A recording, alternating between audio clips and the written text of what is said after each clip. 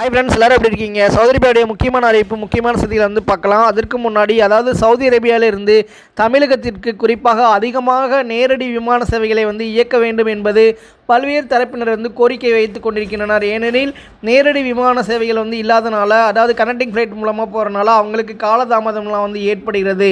இப்போ ரீசெண்டாக கூட சவுதி அரேபியாவுடைய தேசிய விமான நிறுவனமான சவுதி ஏர்லைன்ஸு இந்த ஆண்டு மூன்று கண்டங்களில் உள்ள இருபத்தி ஐந்து நகரங்களுக்கு புதிய சேவையை வந்து தொடங்க இருக்கிறாங்க. ஆனால் இந்த குழுவில் இந்திய நகரங்கள் எதுவுமே இடம்பெறவில்லை. சீனாவில் உள்ள பெய்ஜிங் பிரிட்டனில் பர்மிங்காம் உட்பட இருபத்தி அஞ்சு நகரங்களுக்கு வந்து புதிய சேவையை வந்து தொடங்க இருக்கிறாங்க. அதாவது இந்தியர்களுடைய எதிர்பார்ப்பும் அதிகமான விமான சேவைகளை வந்து இந்தியாவிற்கு வந்து இயக்கணும் அப்படின்னு சொல்லி கோரிக்கை வந்து தொடர்ந்து வைத்து கொண்டிருக்கிறார்கள்.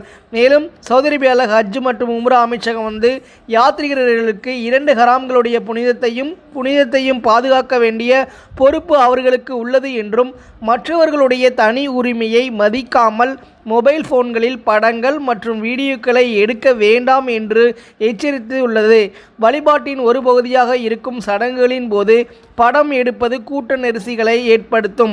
பக்தர்களுடைய அனுமதியின்றி மற்றவர்களுடைய படங்களை எடுக்க வேண்டாம் என்று அமைச்சகம் கேட்டுக்கொண்டு உள்ளது. அதாவது சவுதி அரேபியாவில் வந்து எப்பயுமே நீங்கள் வந்து பொது இடங்களில் சரி அதாவது ஏதாவது ஒரு ஆக்சிடென்ட் நடக்கிறத ஃபோட்டோ எடுத்தோ வீடியோ எடுத்தோ அதை வந்து சமூக வலைதளங்களை வந்து வெளியிட்டால் கண்டிப்பாக வந்து அபராத தொகைகள் வந்து இருக்கும் அப்படின்றதையும் தெரிஞ்சுக்கோங்க. ஏன்னா வந்து இப்போ சமூக வலைதளங்களில் வந்து அதாவது சவுதி அரேபியாவுடைய தனி மனித அனுமதியின்றி கூட வந்து ஒருத்தவங்களோட படத்தை வந்து எடுத்து நம்ம வந்து அதை வந்து சோசியல் மீடியாவில் வந்து வெளியிடக்கூடாது அப்படின்ற ஒரு தகவலை வந்து தெரிஞ்சுக்கோங்க.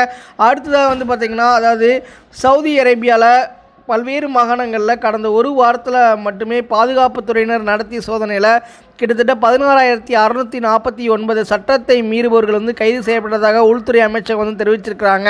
அதாவது கடந்த பதினாறாம் தேதி முதல் இருபத்தி ரெண்டாம் தேதி வரை நடத்தப்பட்ட சோதனையில் இந்த எண்ணிக்கையை மீறியவர்கள் பிடிபட்டு உள்ளனர். இவர்களில் ஒன்பதாயிரத்தி இரநூத்தி ஐம்பத்தி ஒன்பது பேர் எக்கம்மா சட்டத்தை மீறுபவர்கள் நாலாயிரத்தி எண்ணூற்றி தொண்ணூற்றி ஒன்பது பேர் அத்துமீறி நுழைந்தவர்கள் இரண்டாயிரத்தி நானூற்றி தொண்ணூற்றி ஒரு பேர் தொழிலாளர் சட்டத்தை மீறியவர்கள்.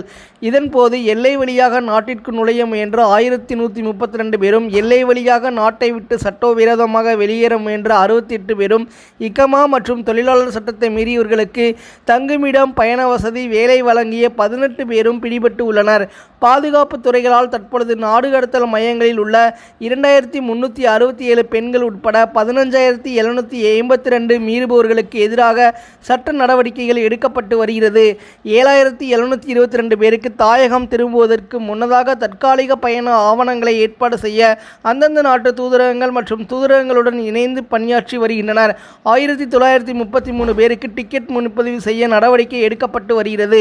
சவுதி அரேபியாவில் இருந்து ஒரு வாரத்திற்குள் பன்னிரெண்டாயிரத்தி எழுநூற்றி அறுபத்தி ஐந்து சட்டத்தை மீறியவர்கள் நாடு கடத்தப்பட்டதாகவும் உள்துறை அமைச்சகம் தெரிவித்து உள்ளார்கள். அதாவது கடந்த ஒரு வாரத்தில் மட்டுமே பதினாறாயிரத்துக்கு மேற்பட்டவர் வந்து பார்த்திங்கன்னா குடியுரிமை எல்லை பாதுகாப்பு தொழிலாளர் சட்ட விதிமுறைகளை மீறியதற்காக கைது செய்யப்பட்டுள்ளனர். ஃப்ரெண்ட்ஸ் சவுதி அரேபியாவுடைய முக்கியமான அறிவிப்பு முக்கியமான செய்திகளை தெரிந்து கொள்ள மறக்காம நம்ம சேனலை லைக் பண்ணுங்கள் ஷேர் பண்ணுங்கள் சப்ஸ்கிரைப் பண்ணுங்கள் நன்றி.